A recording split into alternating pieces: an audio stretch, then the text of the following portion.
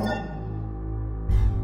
Alright guys, to come back again today. Hope you're doing well and enjoying your day so far. Some spicy drama once again returning to the competitive COD scene with new Mutineers pickup FeLo talking about the 8s he's played over the last few days and a certain player who's on over $200,000 per year, not paying him the 20 bucks he earned by winning 8s and getting very frustrated understandably as a result. Very much enjoyed your thoughts in the comments below. Hit the like button if you enjoy. Subscribe if you're new as always. I'd greatly appreciate that. The joke here is about Havok looking like Lord Farquaad in this image on the right hand side, but at least they've not got the um, the green hair Havok, which they used to use for the last couple of years, which is finally gone. Despite some general positivity around the way ranked play has been received, it must be said that the game still isn't in the greatest state ever. Look at what happens to Clay here. So first of all, he spawns up in this corner, which uh, and as he spawns up here, the team is right to his left, and this isn't really the worst spawn in the world, but um, it's not ideal. He dies within a couple of seconds, and the next spawn is outrageous. He spawns right here between all four of the arrows. I have no idea why they put him here.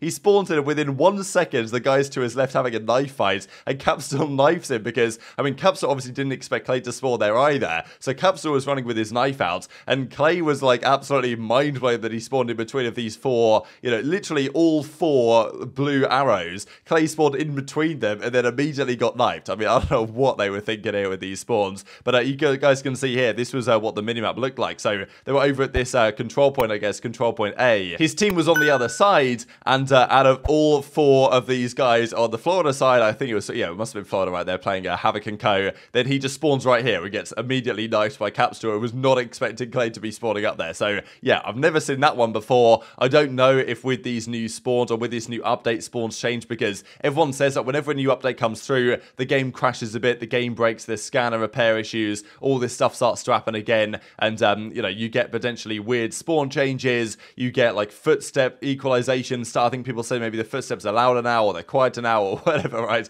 I don't know, but sometimes they don't even intend to change things and then things just happen naturally. I guess that's just Infinity Ward at work, baby. Speaking of Clayster, though, I thought was interesting to look at this quickly. So this is the average age per CDL team, updated going into stage three. The youngest team on average is the Toronto Ultra at 21.3 years of age on average. Then Surge, which is pretty interesting actually, like considering how young I guess Pred and Sib and Mac still is compared to Accuracy, is obviously a bit of a, an OG, but still there's the second youngest team. Then Boston, which I guess has come down with Method's retirement. Then Optic at 22 flat. Then Guerrillas, Subliners, Ravens, Thieves. I mean, you can see how young all the teams are as well. Like the average, like in the league, is what 22.5, something like that. Then you get to the older teams, which are still even Thieves only 23-ish average, given the fact you got Octane on there, and I mean, like obviously he's been around a long time, so is Kenny, Envoy as well. But I guess you know Drazah and Co bringing the agents out a little bit. Florida at 23, then FaZe at 23.3. Same with ROKKR, and then the oldest by quite the margin is Vegas, average 25. But of course, um, a lot of that is brought up by Clayster, who's the oldest player in the league. So I thought it was interesting to see this. I don't know if this is um, updated. I think this is actually before the roster changes, but still gets the point across this kind of bar graph here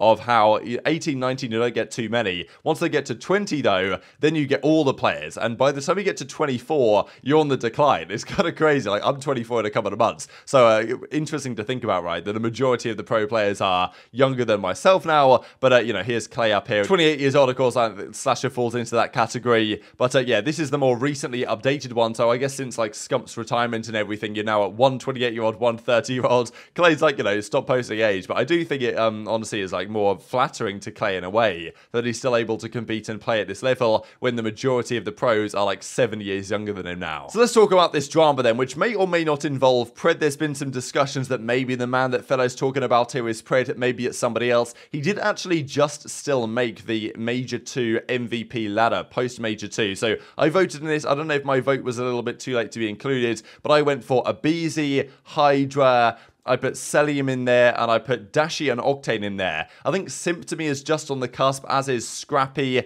as is, um, you know, maybe Afro. I think Pred should also be maybe top 10. But, okay, Pred's been playing great, don't get me wrong. But Surge, if, after they come top 12, kind of tough to have him still in there, I think. I think that Octane deserves a shot. He was so good at the Major and super important to that team right now. And I even said before the year that I think Octane could have a good year in him. So hopefully he keeps up that level. And then Dashy apparently wasn't even voted for at all in the the top five, which I can kind of get because obviously Optic weren't particularly close to winning the event. But um, you know, I think there's an argument to say that Dashy might have been the best player in the venue that past weekend. So I feel like he's got to be at least in conversation. So um, yeah, that was at least my top five. A little bit different to this, but still understandable. But Pred being here was a little bit surprising, even though he has played phenomenal so far this season. But he's certainly been rubbing some people up the wrong way. We saw with TJHaLy the other day, they weren't obviously well, he wasn't so happy with TJ, and the other way around as well. Don't know what the team internally thinks of Pred calling himself the LeBron of the Cavs or the Seattle Surge team, but um, you know, we'll see if their chemistry is completely destroyed when we go into this upcoming stage, despite the fact that, of course, they're running it back, kind of surprisingly from my perspective. Now, FeLo, since being a pro again, technically in the professional league playing for Mutineers, has been playing at Pro 8s over the last couple of days, and uh, okay, the way the 8s tend to work, at least traditionally, each player would chuck in like $20. I don't really know how much money they put in nowadays, but they chuck $20 in, eight of them, of course, that's $160, and then, you know, the team that wins gets the $160 split between them, all this stuff, and the players will just like Cash App or PayPal or whatever the case is to the guys that won that day. And, uh, you know, just a way to spice it up a little bit more than not playing for any money. I believe back in Modern Warfare, the CDL said, no, you guys, you can't play this for money anymore. And whether that rule still exists, I don't know. Or whether nobody really cares anymore, the players just do it anyway. Or, you know, how can you really stop the pro players and what's even a good reason for doing so? I don't know. But FeLo last night suggests that one player at least who's on over $200,000 salary in this league refuses to pay him for his victory in eights. People have been speculating who this might be, especially because there's some players that are known to take their time, let's say, paying out after they lose a series. So, um, I mean, yeah, I'll share the clips. Never understand? Mm. When people are on over $200,000 contracts and I can't get paid from eights. Who's not paying you? Listen, bro, I'm not exposing names. All I know is I was very disappointed. It's all good. I told them I'm either getting my payment via cash or I'm taking their shoes. So whatever, whatever you want to, you know, whatever you want to pay with. the door. Watch out. Be waiting on. Yeah. He's gonna go get some hard-boiled eggs. Is that what he? Is that what he eats? No way. I get hard-boiled eggs as a snack. Yeah, we we were scrimming Seattle one day, Tom, and they were 30 minutes late, and we were like tweaking on them, and then uh, they texted Lamar texted us, "Yeah, sorry, he's cutting. He's getting his hard-boiled eggs," and we yeah. just chalked the scrim. yeah, it's comedy. Yep. Oh. Let's go, AG. Let's go. Let's go, bro. So good, dude. Holy, Terry had a stinker. yeah, no, that was all you. That was like a one versus one, and like you were just putting him down. Terry went none. Where'd he go? Nine no, bullshit, I think you were all 23 of his. I think you were all 23 of his death.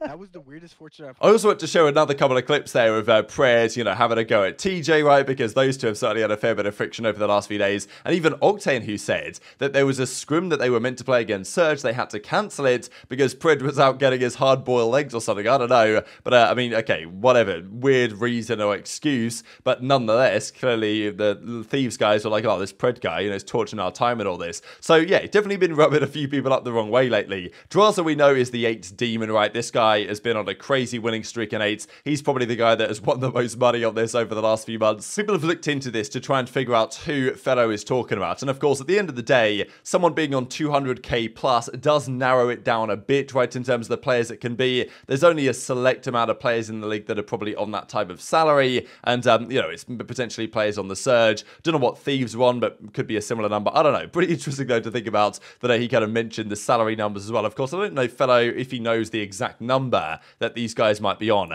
But uh, this was some of the discussion. So people looked into it and thought, okay, who did they play last night? And apparently they played Arcitys. Now, Arcitys is a sound guy. I don't think it'll be him. Or Drazah or Pred. So this is the thing, right? With Drazah winning the majority of his series he plays in 8, I don't really doubt that he's got a problem paying people. So that's when people come back to Pred and they're like, okay, because I think people even said that Pred, I don't know about this for sure, because I'm usually asleep when the majority of these series are going on to watch at night. But people say that sometimes Pred has a bit of a reputation for paying a bit late. So, you know, I don't necessarily think that he's not going to pay FeLo or anything, but it's more like a principle thing, you know? Like if you lose a series, you owe the guy 20 bucks, you just pay him the 20 bucks. Like, I guess that's what FeLo thinks. And he's frustrated at a player that's earning that amount of money, doesn't want to do it. And um, I think there was a story of Pred and TJ. They played like a series, like, they played like a 2K wager or something, and not $2,000, but NBA 2K, right, or whatever. They played something and then Pred took a long time to pay him and all this. Not like he wouldn't, but like, um, you know, just some frustrations on taking a long time to get around to it. Reminds me a little bit of this moment you guys may or may not remember from 2021 when Crim and Formal had a fair bit of a back and forth. And this was obviously a much larger sum of money, but this was for the Infinite Warfare World Championship MVP. So the team had promised them, well, this is the Optic Dynasty, right? So Optic, uh, Formal, Six Scump, and Karma. Going into the tourney, they had apparently promised each other, like, hey, whoever wins the MVP, let's share that money between our team. I think we're talking like $25,000 or something for the MVP winnings, and they said, you know what, let's just share it out whoever wins. Now, of course, Formal won the tournament, won the MVP in a like best ever tournament performance type level. Like if Formal wasn't dropping a 1.44 over the tournament, then Optic probably don't win. So, you know, you could argue he earned his MVP money, but they'd agreed to split it, and Crim, as he replies here back in June 2021, like imagine scumming your brothers out of 6 to 7k because of pure selfishness and ego. I don't even care about the money. So that's the thing, right? Crim, like, okay, 6, 7k, whatever. Crim will survive without it. It's not for Crim about the money, it's more about the principle, a formal kind of, well, promising to do it and then refusing to. And it's kind of the same thing here. Like, FeLo doesn't really care about the 20 bucks, right? I'm sure he'll survive. But it's more about the principle of the player that's on 200k not paying up when, you know, they need to pay up and FeLo's got to chase him for the money and all this, which is understandable. So, yeah, I don't know. Who do you guys think it is? Because it's kind of a secret who this player that he's referring to is. Most people would probably imply that it might be Pred, it might not be Pred, it could be someone entirely different. We don't have the full story, but yeah, just a nice bit of uh, petty Call of Duty beef and drama to keep up on going forwards. Just wanted to mention before we close out here a couple of lineman cards as well. These are the Los Angeles Thieves guys. This is like, a, you look at the numbers here across the team. Now, the numbers are calculated by some sort of algorithm that just like generates what rating they should have. Obviously, these numbers are actually determined by their actual performance, but it does go to show again that all four players are playing at like a very similar level at times. I, still feel like Draz is underrated. Look at the numbers here, pretty impressive stuff. But um, I mean, yeah, it's just one of those things where the team is all playing at a very similar level, and that's what they did last year when they won Major Four and Champs. So maybe a sign of things to come for them. This also is, of course, the Atlanta FaZe cards. Abezy gets a 99. Somehow didn't win the MVP. Not exactly sure why. Simp got the MVP for 90. I mean, Simp played great. Don't get me wrong, but I mean, Abezy was just like he's the best player in the game right now, in my opinion. Slasher ends up with a 76, which I thought was quite funny because his numbers aren't bad, Slasher, and obviously he has a massive impact on the team. But